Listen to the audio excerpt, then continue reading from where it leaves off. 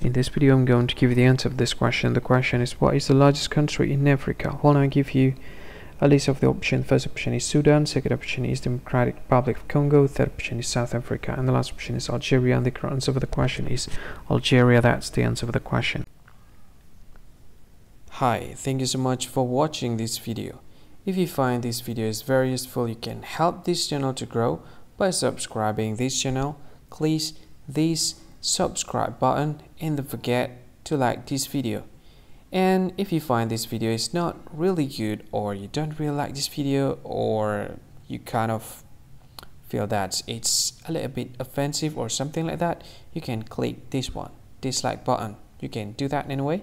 And if you want to share this video with your friend you can share it by clicking this share button and you can share it to any any social media that you wish that is currently available at this time like Facebook, Twitter, LinkedIn, and many others.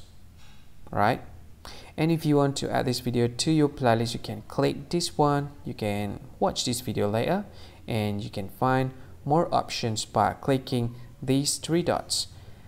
And yeah, don't forget to subscribe. I think that's all of it. Thank you so much for watching this video and see you again in another video. Bye bye. See you again.